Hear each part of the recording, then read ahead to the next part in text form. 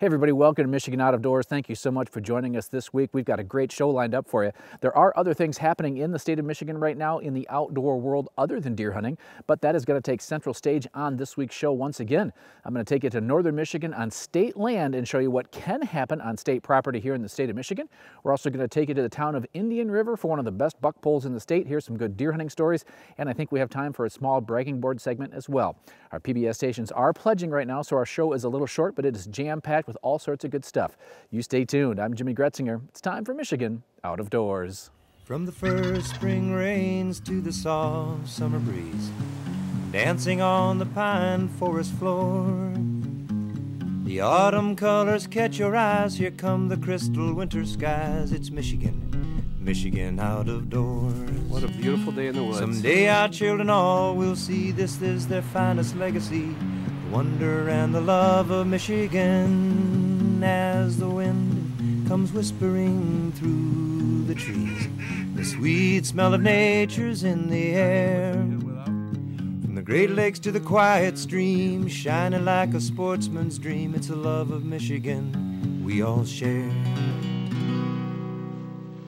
Michigan Out of Doors is presented by by Country Smokehouse, a sportsman's destination since 1988, featuring varieties of homemade sausage, jerky, brats, and gourmet entrees.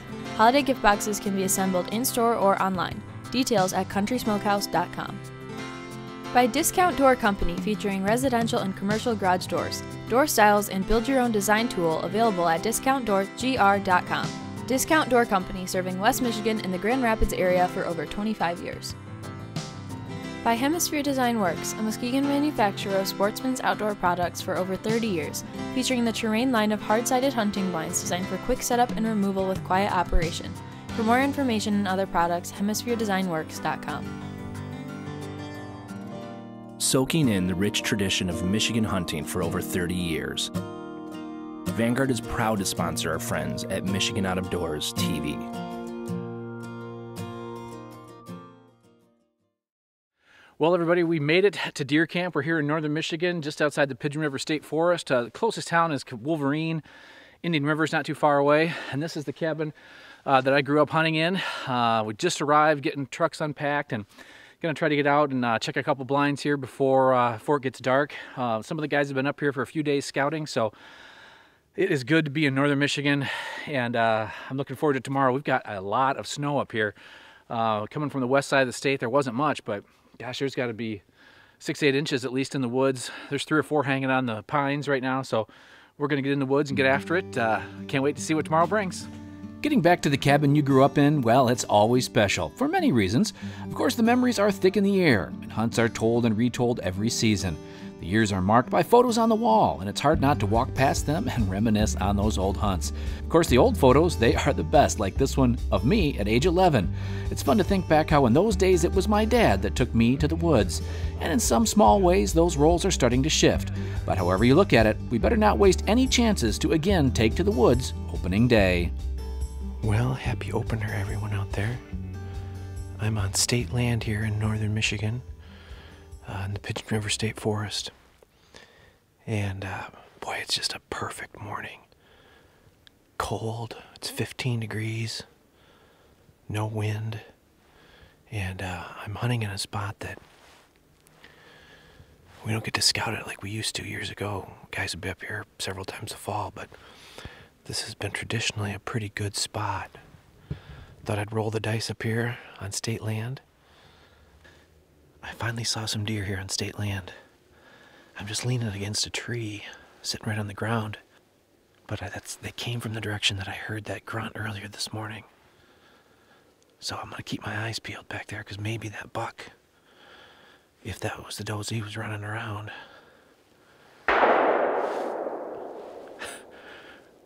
well, I think my dad just shot. It is a beautiful morning. And uh, I'm hoping that that was my dad. I don't know if you could hear it on the camera or not. I'll give him a minute or so and then I'll head down there.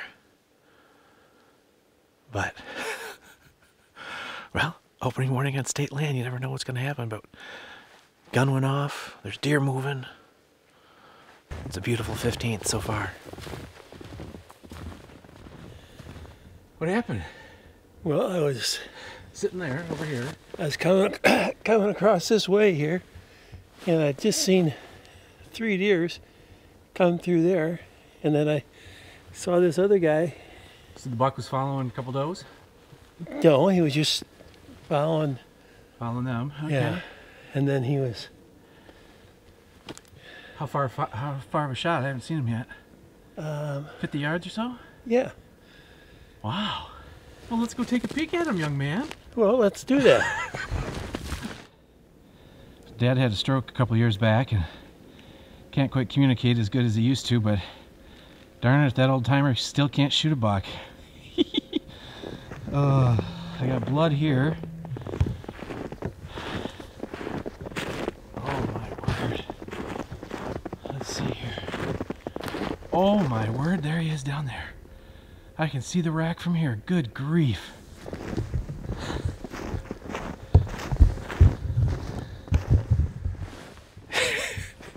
you got be, you know, and I debated whether I should just sit with him or not this morning because we saw a lot of sign in here, um, a lot of scratchings and whatnot. But I didn't want him to. He kind of wanted to sit on his own, which I get. But I never thought in a million years one would come down through this opening. Wow. Yeah, I bet that was about a 50 yard shot. And it looks like a nice, I'm guessing eight point. Boy, I can't believe you did it, young man. Nice job. oh, let's go take a peek at it. That's awesome. Look at that blood.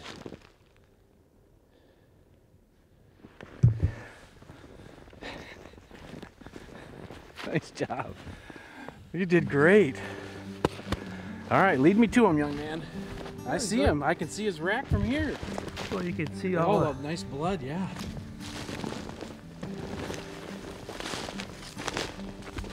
I guess I should have sat with you. yeah.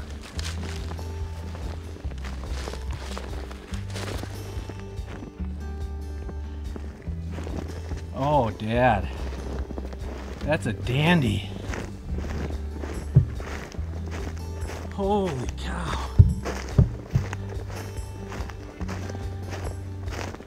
What a nice buck.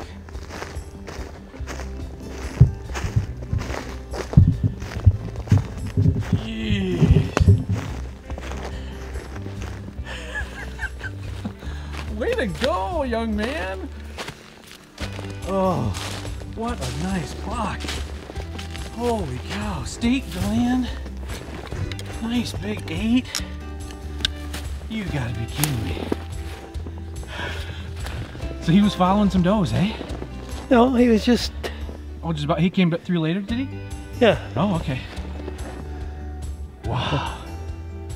Congratulations. That is one heck of a deer. Well, it was quite a morning here on state land in Cheboygan County. My dad had made a good shot, and I was happy to gut his deer for him.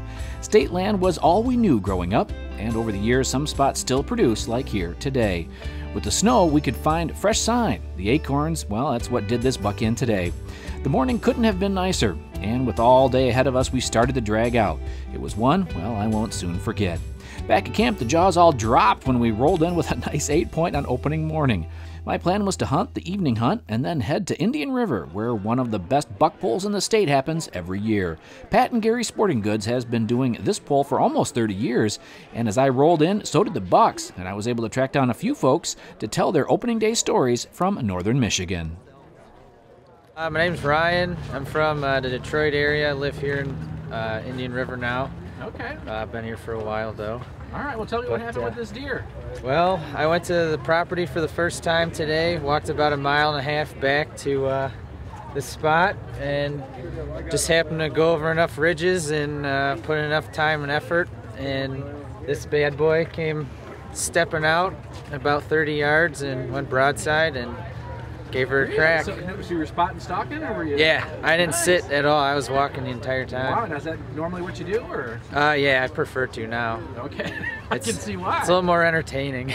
So, what, did you see him from a ways and sneak up on him, or he just pop in on you? Uh, no, he just popped in on me. I was trying to figure out where I wanted to go next. I got around a kind of a beaver pond slash marsh and wanted to figure out play the wind a little bit. And he just came out from the west on me and from about 100 yards out. He used that a pretty much a full trot. Came right in and Now, did I hear this is one of your first? Is this your first buck? uh, first buck. Yeah, First buck. Well, congratulations. yeah. Very very happy about it. That's awesome. Uh, I'm Ashley Clymer and I'm from Cheboygan. And Ashley, tell me what happened with this nice little spike today. Well, sitting out in the blind and it just uh, took forever coming in and found out one of our buddies was uh, trying to grunt call it to his blind. Okay. and luckily he came to mine and he just walked right in the field and turned broadside and just shot. How far was he? Uh, 40 yards. Yeah, probably. 40 Oh, yards. nice close. Yeah. Okay, so how many? Now, Yeah. do you shoot a deer every year, or is this? No, it's actually been 12 years for me. Really? Okay. yep. I shot my first buck, a six point, when I was 12 years old in the youth hunt. Okay. So it's been a while and I'm glad I got one. Well, good for you. Congratulations. yeah, thank you. Hi, my name is Sid, and uh, I'm from Indian River. All right, Sid, tell me what happened with this nice buck today. Uh, well, I seen a doe come through, and she got a little skittish and took off, and uh, I barely seen him come through. He sneaked through following her, and uh, once I seen him, I barely got a shot off. I had to actually shoot through the trees a little bit to get to a good shot for him, and uh, my first eight, so First eight. 100, 150 pounds too, so 50. So he's on the bowl here. yeah, Nice. And how far was the shot? uh, about 30 yards. Okay. Did you see him coming for quite a ways then? No, he snuck through the trees. Okay. Nice. And so he was had a few more points when you got up to him than you thought, eh? Yeah, I thought it was a six, and then I went to go gut him. I noticed it was an eight, and I was pretty happy. And uh, how, how many deer did you see today? Uh, just the two. Just the two. Yep, You hunt up this area quite a bit then, or? I do. Okay. Do you think deer up or down over here this year? Uh, the bucks they seem bigger, but there seems like a lot more, uh, you know, twins being born around here, so it's pretty nice. Well, congratulations. Thank you. The hunters had to pre register their deer, which is free, and if they brought the deer into the weigh station, well, they're just about guaranteed some sort of a prize here tonight. living in Wisconsin for about 20 years. I grew up here, Okay. and I come up every year to hunt with my dad. Nice. And I said about four o'clock, I had a little yearling come out. About 4:45, Doe followed her out, and about five minutes afterwards, he stepped out. I dropped him at straight up five o'clock. Really? How far was he away? Oh, 35 yards maybe. Okay, so you could see how big he was then, eh? Yeah, there was no mistaking there was horns on him. Oh, he's a I had I hadn't seen horns in probably 13 years. Really? So, well, I can make a correction. The last one I saw that had horns looked like somebody glued thumbtacks on the ups, upside down on his head. They literally were, were that long and just came up to little points. So, wasn't even a shooter. So, Congratulations. yeah, got me out of my uh, out of my slump. And what's your name and where are you from? My name's Brad Knight. Uh, I live in Watertown, Wisconsin, but I grew up in Afton. Well, thanks. and Congratulations. Thank you. No, Ellison from Wolverine. And tell me what happened with this nice buck. Um, we were sitting in the blind for a couple hours and uh, look across the field, and he's moving about 300 yards going across the field. And I got the gun up on him and pulled the trigger. And my mom watched him buck up, and then we went looking for a half hour later. My mom shot at seven point, and then yep, Wow. and uh, so we went looked for hers, couldn't find any blood. And we went, my cousin met up with us and we went looking for mine. Found a bunch of blood, tracked him for 200 yards, found him in the river. Right on the edge, got caught up in some stuff. We were dragging my deer out of there and we found my mom's deer. So, yeah, pretty crazy. Now, how far was the shot for yours? 300 yards 300? walking Wow, what did you shoot him with? by a 300 mag. Nice, that's a great shot. Congratulations. Thank you. Where are you from? Dave Sherman from Cheboygan, Michigan. What happened with this nice buck today? Um, it just came in and stood there, so I had to shoot it. What time of day? About 9 o'clock this morning. Okay, and how many deer did you see today? A lot of deer. Really? Yeah, there's a lot of deer out there. A couple other bucks I saw, but I couldn't get them in the scope. Okay, so This public or private ground? It's private. Okay. Well, so how long did you see this guy before you shot? About 20 minutes. Oh, so you watched him for a while. Yeah, yeah. I was, I was debating whether to shoot him or not. Okay. how far was the shot? It was only about 50 yards, but I mean, what are you going to do? Northern Michigan, and you got a 10 point standing out in front of you. That's a good problem to have. Yeah, you pull the trigger. Congratulations. Thanks. Well, it was time to start giving out the $17,000 in prizes tonight. The 2018 Pat Gary's Buck Pole Champion gets a oh a Tikka T3 rifle with three by half by ten scope. Fifteen hundred dollar value. Jason Ward, come on down. 179 pound eight point. Woo-hoo, Come on, give another round. Lots of great prizes here today. Tons of folks. We had about 63 deer come in, which is a little slow, but still a great night. My old buddy here bought the store back and says, Gary, let's have the buck pole down here. Yeah. 28 years later, we still got the buck pole Just as down thin as we used to be. Just as thin as ever. What a great night. Well, there was no more action at our camp over the next few days. A few more deer were seen, and this would be the only buck sighted. As my dad and I made our way south, we stopped at the check station in Reed City to see how the hunt was going. Um, basically, we, would, we need to know the location, uh, um, where they got the deer, and it's pretty important now with some of the diseases we're monitoring for that we get a ac- really accurate description of the county and township.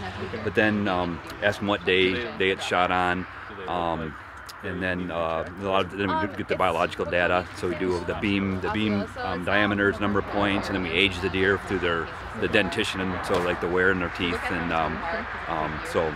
So it's just a really good way to get a good handle from the from the public who's out there of what's going on. Yesterday we saw Okay. 16, and today we're we're close to 40. Okay. So it's been yeah, it's been really busy, and it seems like a lot of people did really well on opening day with many, many bucks being two and a half years and older. So the dentine is the dark layer on top there that we'll be looking at, and then I usually look back at this last tooth there to see the wear on there. I'd go with this one being four and a half years old. Really? Mm-hmm. Wow. All right. old deer for an old hunter. Congratulations. This was an opener to remember. A perfect morning in the snow with my dad and a heck of a buck on state land. My takeaway was this take someone new or take someone old. You just never know what can happen on opening day in Michigan's out of doors.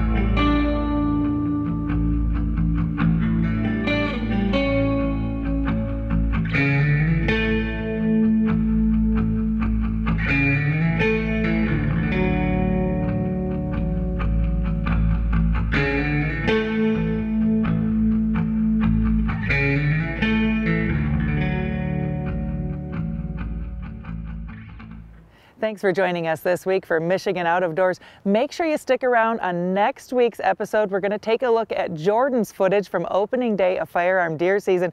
He was able to spend some time with a young hunter who connected with an amazing buck. You won't want to miss next week's show.